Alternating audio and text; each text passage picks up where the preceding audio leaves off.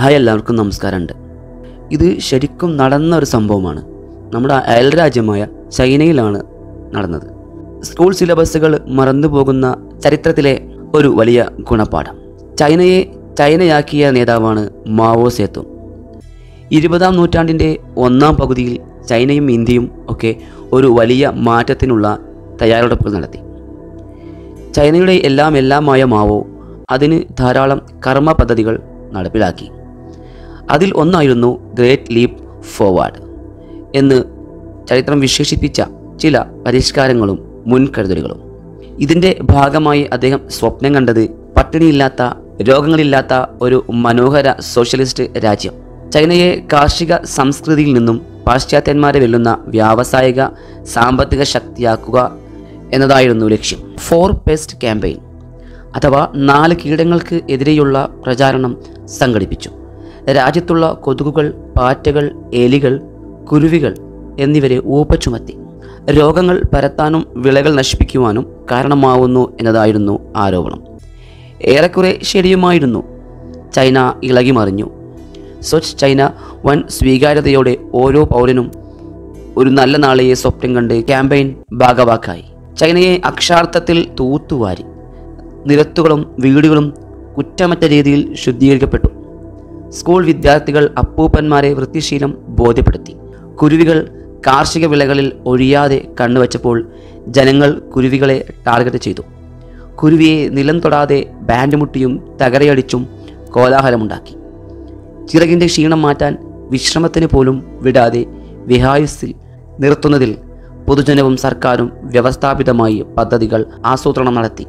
കൂടുതൽ കുരുവികളെ കൊല്ലുന്നതിന് ഗവൺമെന്റ് സ്കൂളുകൾക്കും മറ്റും വലിയ റിവാർഡുകൾ ഏർപ്പെടുത്തി. തെരുവുകളും ഗ്രാമങ്ങളും കിളികളുടെ ശവനിറഞ്ഞ കൂമ്പാരം കുരുവിക്കൂടുകളും കുരുവിക്കുഞ്ഞുങ്ങളും തുടച്ചു മാറ്റപ്പെട്ടു. കുരുവി വേട്ടയ്ക്ക് സഹകരിക്കാത്ത അന്യരാജ്യ എംബസികളിൽ ഖരാവ നടത്തി കാര്യം സാധിച്ചു. നാല് വർഷം കൊണ്ട് ഒരു കുരുവി പോലും ചൈനയുടെ ആകാശത്ത് കാണപ്പെടാതായി. വിളകൾക്ക് വലിയ നേട്ടമുണ്ടായി. എന്നാൽ ലക്ഷ്യം മാർഗത്തെ സാധൂകരിച്ചില്ല. ഏകദേശം രണ്ട് കോടി കുരുവികളുടെ രക്തസാക്ഷ്യം രേഖപ്പെടുത്തിയ ചൈനയുടെ മണ്ണിൽ പുതിയൊരു അവതാരം പിറവികൊണ്ടു. എതിരാളികളില്ലാതെ ഒരുതരം കീടം പെറ്റുപെരുകി വിളകൾ മുഴുവനും തിന്നു തീർത്തു. നെല്ലിന്റെ കൂടെ കുരുവികൾ അവയെയും ഭക്ഷിച്ചിരുന്നു. ചൈന ഫോർപെസ്റ്റ് ക്യാമ്പയിൻ സംഘടിപ്പിച്ചപ്പോൾ നാല് കീടങ്ങൾക്ക് എതിരെയുള്ള ആ പ്രചാരണത്തിൽ കൊതുകുകളും പാറ്റകളും എലികളും ഒരു പരിധിവരെ രോഗവാഹികളാണ്. അവ രോഗം പടർത്തും അവ മനുഷ്യർക്ക് ഭീഷണിയാണ്. എന്നാൽ കുരുവികൾ എങ്ങനെയാണ് മനുഷ്യർക്ക് ഭീഷണിയാവുക എന്നത് എനിക്ക് മനസ്സിലായിട്ടില്ല. പക്ഷേ കുരുവിയുടെ അസാന്നിധ്യം വലിയ ദുരന്തത്തിലേക്ക് പോകുന്നു എന്നറിഞ്ഞ ചൈന തങ്ങളുടെ ശത്രുവായ സോവിയറ്റിൽ നിന്നും കുരുവികളെ ഇറക്കുമതി ചെയ്യേണ്ടി വന്നു. അപ്പോഴേക്കും വൈകിയിരുന്നു.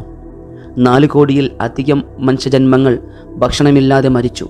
അങ്ങനെ ഫോർപെസ്റ്റ് ക്യാമ്പയിൻ ചരിത്രത്തിൽ ദ ഗ്രേറ്റ് സ്പാരോ ക്യാമ്പയിൻ അല്ലെങ്കിൽ കിൽ എ സ്പാരോ ക്യാമ്പയിൻ എന്നറിയപ്പെട്ടു. ചൈനയിൽ ഇന്നും കുരുവികളുടെ പോപ്പുലേഷൻ കുറവാണ്. പ്രകൃതിയെ പുരോഗതി എന്ന ഓമന പേരിൽ ചൂഷണം ചെയ്യുന്നവർക്കും ഭരണകൂടത്തിന്റെ എന്ത് തീരുമാനവും വിമർശന ബുദ്ധിയില്ലാതെ അണ്ണാക്ക് തൊടാതെ വിഴുങ്ങുന്നവർക്കും ചരിത്രത്തിൽ അരനൂറ്റാണ്ട് മുമ്പ് നടന്ന ദുരന്തത്തിനേക്കാൾ വലിയ പാഠമില്ല. ചരിത്രം മനുഷ്യന്റെ അനുഭവങ്ങൾ വരച്ചിട്ട വലിയ പാഠങ്ങളുടെ സത്യം. മറ്റൊരു വീഡിയോയുമായി വീണ്ടും കാണും വരെ. Good bye